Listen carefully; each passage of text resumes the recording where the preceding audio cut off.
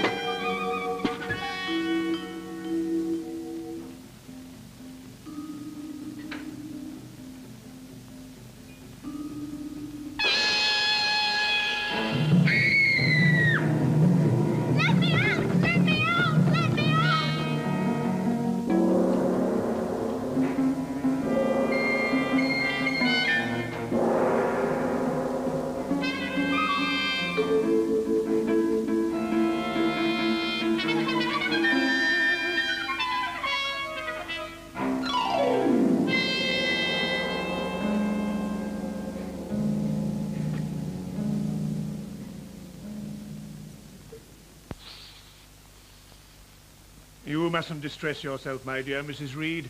No one could have done more for the child. She has been treated like one of my own children. I've lavished affection on her. Has she no other relatives? I don't know of anybody. I promised my husband before he died that I would take care of her. She was his niece.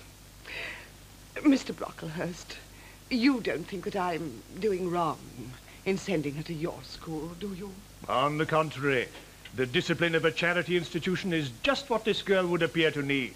Of course, I only wish to do what is best for Jane. I feel it is so bad for her to be uh, running wild round here. I assure you, my dear madam, you need have no fear. At Lowood, viciousness is immediately crushed and bad temper inexorably dealt with. She is certainly vicious, Mr. Brocklehurst. She won't be at Lowood, madam. There, I'm proud to say we succeed in mortifying all the sins of the flesh. Only yesterday, my daughter Augusta said... uh, Ah, Jane, come in.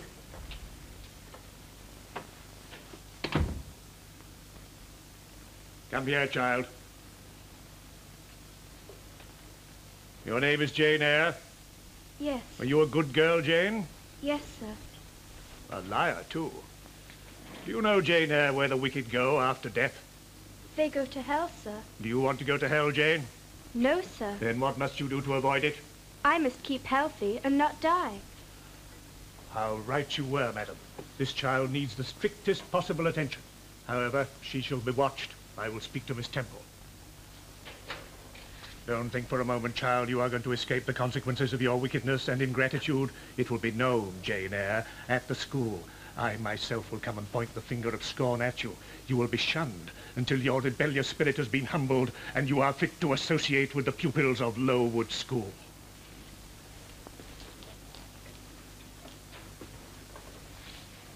Good day to you, madam. You, I will see at the school.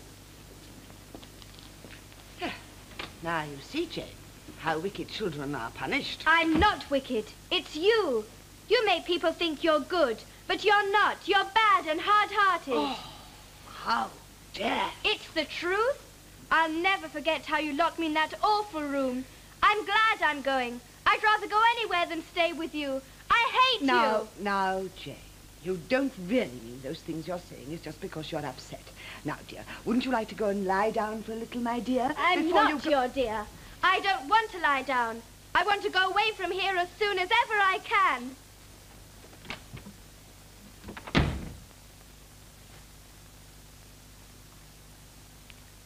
I hope I never see you again, Jane Eyre.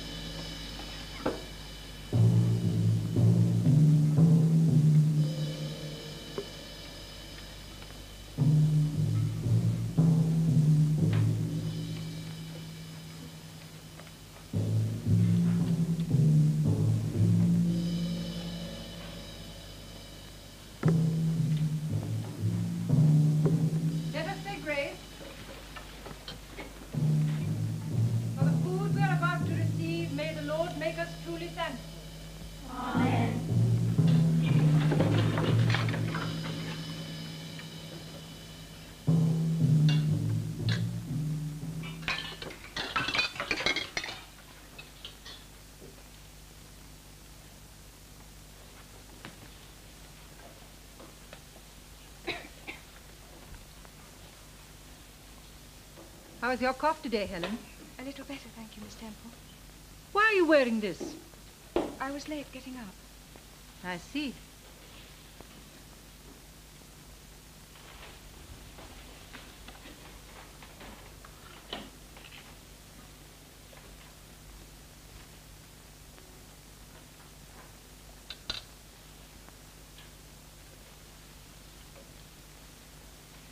Are you all finished?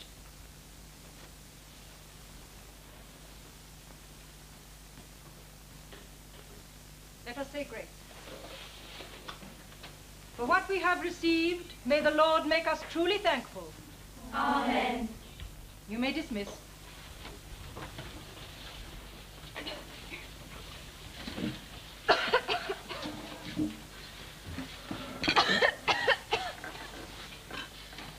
Hurry, girls, hurry. Don't dawdle. Burns and Eyre. Late. Last, as usual. Come along. Oh, Helen, your better. you are going to get well again. oh, Helen, you're the only friend I've got in this place. Burns and Eyre. A black mark for talking. Get to your class at once.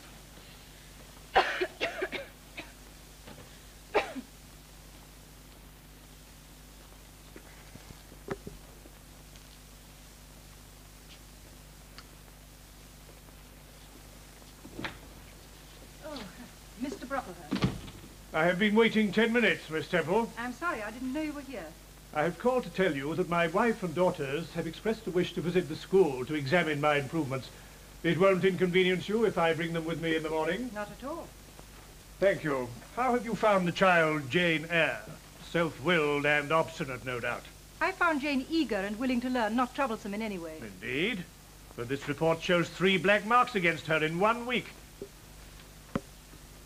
That is Miss Miller's report. I can only speak of Jane as I find her myself. You surprise me, Miss Temple. When I first saw the child, I knew her to be vicious, ungrateful, and a liar. However, no doubt we all have our favorites. Jane was unloved and unhappy. She was rebellious, ma'am, and for her own good was sent to Lowood that her spirit might be humbled and she taught true meekness. I will take particular note of her tomorrow, and if I see no improvement, measures will be taken to break her.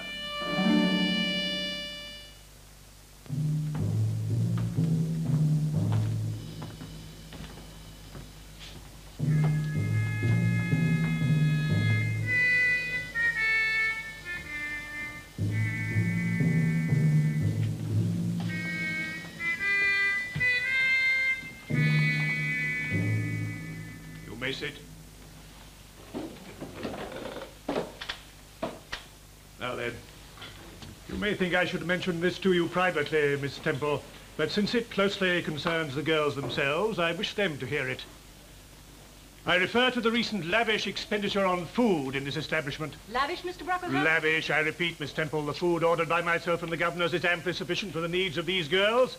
Yet in spite of this, what do I find? On no less than two occasions, a lunch of bread and cheese has been served out during the past fortnight. How is this? On whose authority? I must take full responsibility for it, Mr. Brocklehurst. The breakfasts served out to these girls were quite uneatable. In the cold weather, I couldn't allow them to go hungry for five hours. I presume you are bringing these girls up on Christian principles, Miss Temple? I hope so, sir. So do I. Yet it would appear that by this incessant gratification of their appetites, they are being taught habits of luxury and indulgence, and Mrs. Brocklehurst agrees with me. The opportunity should be taken not to replace the food and thus pamper the body, but by a short discourse show how their spiritual welfare can be increased by the privation. Oh, Miss Temple, when you put bread and cheese into the mouths of these children, you may indeed feed their vile bodies, but you little think how you starve their immortal souls. I shall remember in future. I trust you will.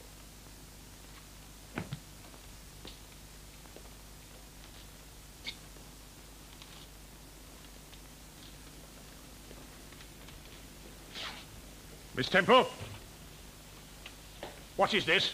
What, sir? This girl here with the hair, red hair, curled all over. It's Julia Severn, sir. And why should Julia Severn, against every rule and precept of this school, wear her hair in a mass of curls? Julia's hair curls naturally, sir. We are not here to conform to nature, Miss Temple.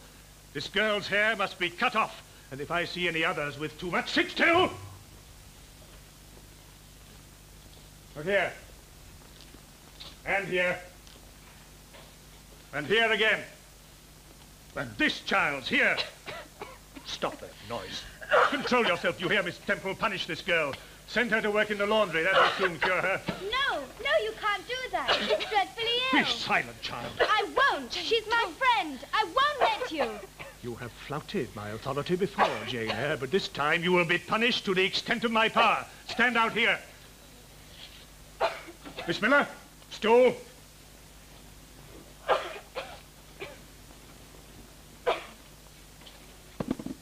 Get up. Now, Jane Eyre, I give you one more opportunity. Do you repent, wretched child, of what you said? I won't take back a word. You're wicked. Miss Temple? Cane. Must I ask you again, Miss Temple? Hmm?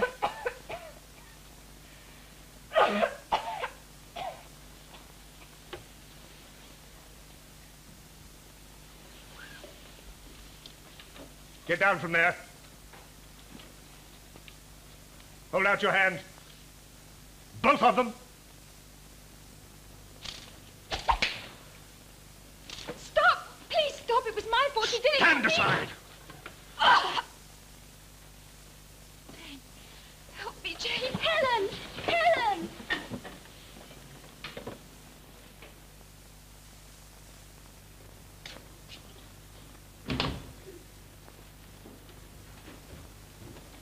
Doctor. Doctor. How, uh, how is she? Very ill. How did you expect her to be? Well, Doctor, you must realize, uh, with a school of 80, 80 girls, I, I can't possibly give them all individual attention. Is it possible to ignore a girl that must have been coughing her heart out for weeks? Because you chose to disregard the obvious symptoms, a girl's life has been sacrificed. Her, her life? She may have a few weeks. How many, I can't say. She shall have every care and attention, Doctor. She has a friend, Jane Eyre. She has asked for her. I think she should be sent for. Good day to you, Mr. Brocklehurst.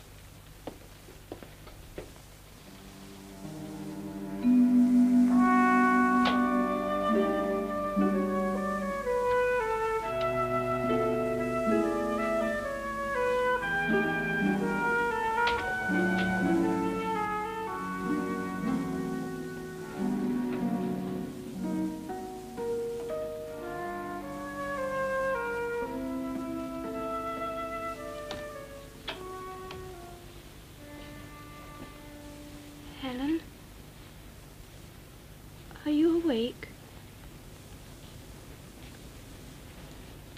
Is that Jane? Yes. It's Jane. Have you come to say goodbye? Helen. What do you mean? I heard the doctor, Jane. He said she'll probably go tonight. Go? Go where, Helen? I'm going to God. Helen! I believe in him, Jane. Are you sure, Helen? Are you sure? Will I ever see you again? Dear Jane. Always asking questions. I want to sleep now. I feel so happy with you beside me. I'll stay with you. No one will take me away. Jane, don't be too unhappy. One day, you'll leave this awful place. I know you will. Yes. One day I will. Good night, Jane. Good night, Helen. Helen?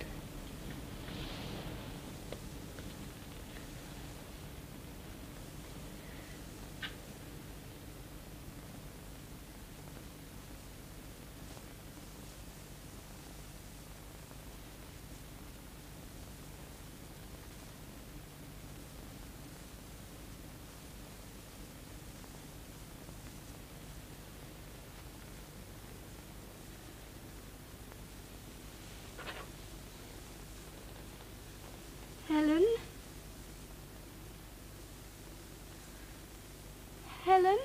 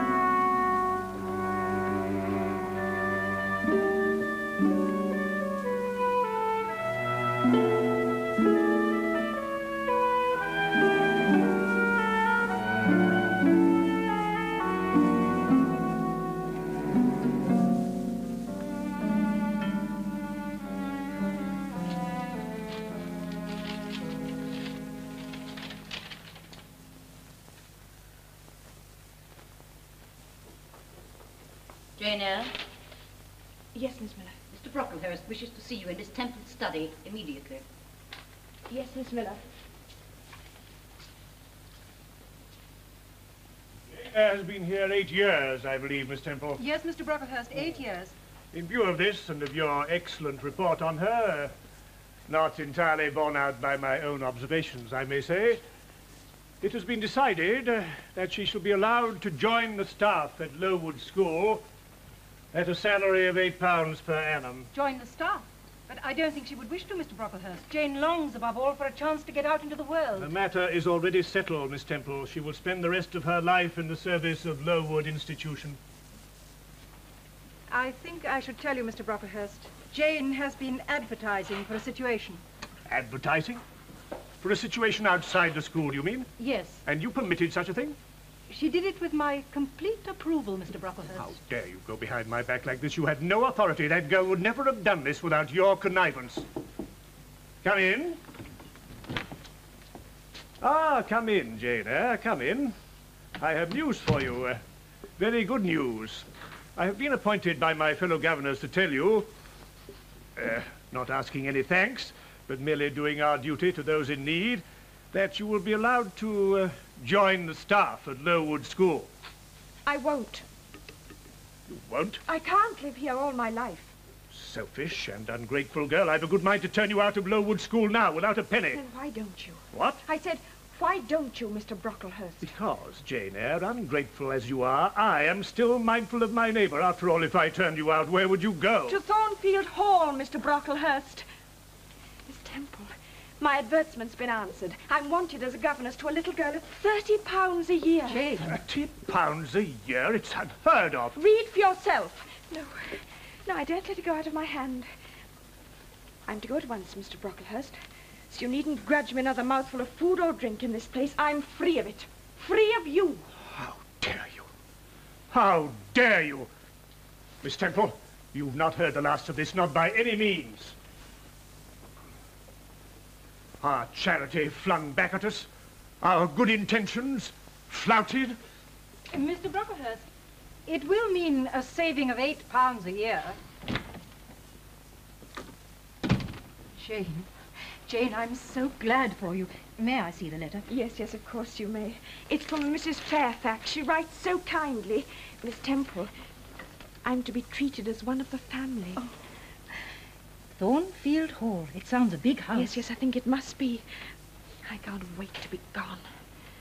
Go and get your things packed. Yes. There's a lot to be done. Yes, yes, of course. Miss Temple, Yes? I'm not ungrateful.